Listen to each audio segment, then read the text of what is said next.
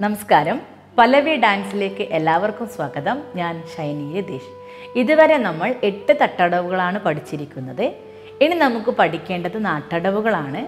നാട്ടടവുകളുടെ പ്രത്യേകത എന്ന് പറയുമ്പോൾ കാലുകൾക്ക് പുറമെ കൈകൾ കൂടി നമ്മൾ അവിടെ ഉപയോഗിക്കുന്നുണ്ട്. അപ്പോൾ കൈകൾ ഉപയോഗിക്കുന്നത് കൊണ്ട് തന്നെ നമുക്ക് മുദ്രകളെ പറ്റി നല്ല ധാരണ വേണം.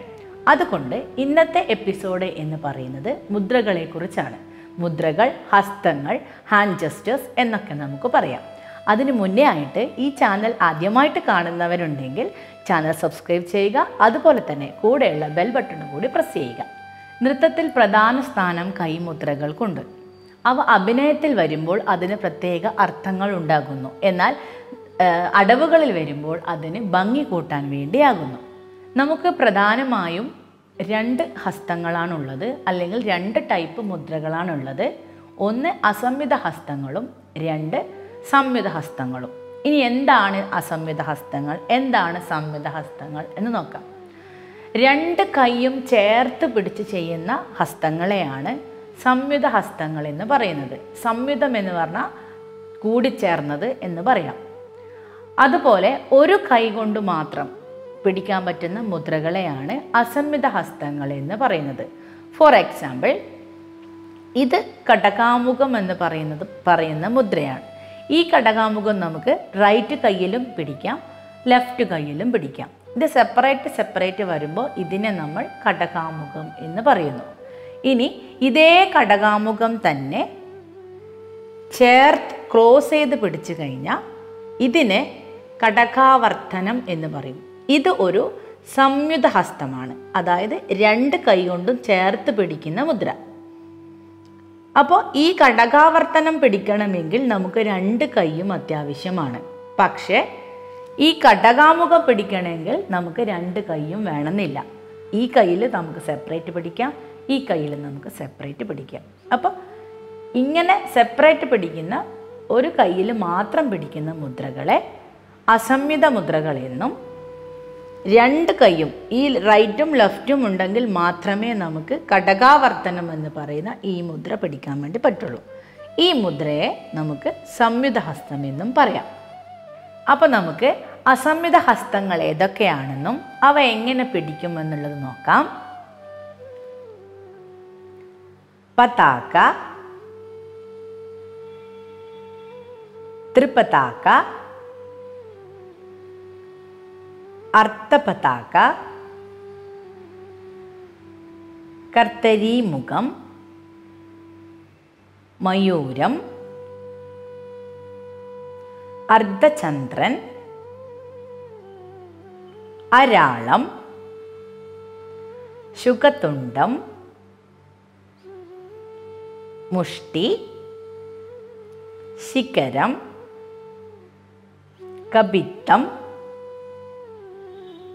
കടകാമുഖം കടകാമുഖം മൂന്ന് തരം കടകാമുഖമുണ്ട് ഇത് ഒന്ന് ഇത് രണ്ട് ഇത് മൂന്ന്. സൂചി ചന്ദ്രകല പത്മകോശം സർപ്പശിരസ് മൃഗശീർഷം सिंहमुखं काङ्कुलम् अलपद्मं चतुरं भ्रमरं हंसास्यं हंसपक्षं सन्तंशं मुकुलं താമ്രചൂടം ത്രിശൂലം. ഇങ്ങനെ ഇരുപത്തി എട്ട് അസംഹിത ഹസ്തങ്ങളാണ് നമുക്കുള്ളത്. ഇനി ഈ ഇരുപത്തെട്ട് ഹസ്തങ്ങളും ശ്ലോകത്തിൽ എങ്ങനെ പറയും എന്നുള്ളത് നമുക്ക് നോക്കാം. പതാക ത്രിപതാകോ അർത്ഥപതാക കർത്തരി മുഖ മയൂരാഖ്യോ അർദ്ധചന്ദ്രശ്ച അരാള ശുഗതുണ്ടകഃ मुष्टिश्च शिखराख्यश्च कपित्त कटकामुगः मुष्टिश्च शिखराख्यश्च कपित्त कटकामुघः मुष्टिश्च शिखराख्यश्च कपित्त कटकामुघः सूची चन्द्रकला पद्मकोश सर्पशिरस्तथा मृगशीर्षो सिंहमुघः काङ्कुलश्च अलपद्मकः चतुरो भ्रमरश्चैव ഹംസാസ്യോ ഹംസപക്ഷക സന്തംശോ മുകുളശ്ചൈവ താമ്രചൂട ത്രിശൂലകഃ ഇത്യാസംയുതഹസ്താനാമഷ്ടാവിംശതിരീരിത ഇപ്പോൾ നിങ്ങൾ ഈ സ്ക്രീനിൽ കാണുന്നത് ഇരുപത്തിയെട്ട് അസംയുത ഹസ്താസും അതിന്റെ മീനിങ്സുമാണ്. ഇത് ഓരോ മുദ്രകളുടെയും അല്ലെങ്കിൽ ഓരോ ഹസ്തത്തിന്റെയും വേർഡ് മീനിങ് മാത്രമാണ് ആകുന്നത് പേര് സൂചിപ്പിക്കുന്ന വസ്തുവിനെ കാണിക്കാൻ മാത്രമല്ല ഈ മുദ്രകൾ ഒന്നും തന്നെ ഉപയോഗിക്കുന്നത്. അതിനൊരു ഉദാഹരണം എന്താണെന്ന് വെച്ചാൽ നമ്മൾ ആദ്യം പറഞ്ഞ മുദ്ര പതാക്കയാണ് പതാക എന്ന് പറഞ്ഞാൽ നമുക്കറിയാം പതാക ഫ്ലാഗ് അപ്പം നമ്മൾ ഈ പതാക ഫ്ലാഗ് കാണിക്കാൻ വേണ്ടി നമ്മൾ ഉപയോഗിക്കുന്നുണ്ട്. പക്ഷേ ഈ പതാക എന്ന് പറയുന്ന മുദ്ര ഫ്ലാഗ് കാണിക്കാൻ വേണ്ടി മാത്രമല്ല ഉപയോഗിക്കുന്നത്. ഈ ഒരു പതാക എന്ന് പറയുന്ന മുദ്രക്ക് തന്നെ മറ്റനേകം യൂസേജസ് ഉണ്ട്. അതൊക്കെ വെച്ചിട്ട് ഓരോ മുദ്രകളുടെയും വിനിയോഗംസ് നമ്മൾ കുറച്ച് കഴിഞ്ഞാൽ കുറച്ച് അടവുകളൊക്കെ പഠിച്ചു കഴിഞ്ഞാൽ നമുക്കൊരു വീഡിയോ ചെയ്യാവുന്നതാണ്. അപ്പോൾ ഓരോ മുദ്രയ്ക്കും അതിന്റെതായ അർത്ഥങ്ങൾ മാത്രമല്ല മറ്റ് പലതും ചെയ്യാൻ വേണ്ടിയിട്ട് നമ്മൾ ഇതേ മുദ്ര ഉപയോഗിക്കുന്നത്. ഇപ്പോൾ പതാക എന്ന് പറയുന്ന മുദ്രനെ കൊണ്ട് ഫ്ലാഗ് കാണിക്കുന്നു എന്നാണ് പതാക പറയുന്നത്. പക്ഷേ നമ്മൾ മേഘങ്ങൾ കാണിക്കാൻ ആകാശം കാണിക്കാൻ വനം കാണിക്കാൻ ഒക്കെ നമ്മൾ ഉപയോഗിക്കുന്നത് പതാക തന്നെയാണ്. അങ്ങനെ പതാകനെ കൊണ്ട് ഒരുപാട് യൂസേജസ് ഉണ്ട്.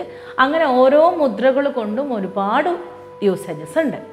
അപ്പോൾ ഇങ്ങനെ ഇരുപത്തിയെട്ട് അസംയുത ഹസ്തങ്ങളാണ് നമുക്കുള്ളത്. ഇനി സംയുത ഹസ്തങ്ങളുമായിട്ട് അടുത്ത എപ്പിസോഡിൽ ഞാൻ വരുന്നതായിരിക്കും. അതിനു മുന്നേ ആയിട്ട് ചാനൽ ആദ്യമായിട്ട് കാണുന്നവരുണ്ടെങ്കിൽ ചാനൽ സബ്സ്ക്രൈബ് ചെയ്യുക. കൂടെയുള്ള ബെൽ ബട്ടൺ പ്രസ് ചെയ്യുക. അതുപോലെ തന്നെ മറ്റുള്ളവരിലേക്ക് കൂടി ചാനലിനെ എത്തിക്കുക. അപ്പോൾ സംയുത ഹസ്തങ്ങളുമായിട്ട് നമുക്ക് അടുത്ത വീഡിയോയിൽ കാണാം. അതുവരേക്കും എല്ലാവർക്കും നന്ദി നമസ്കാരം.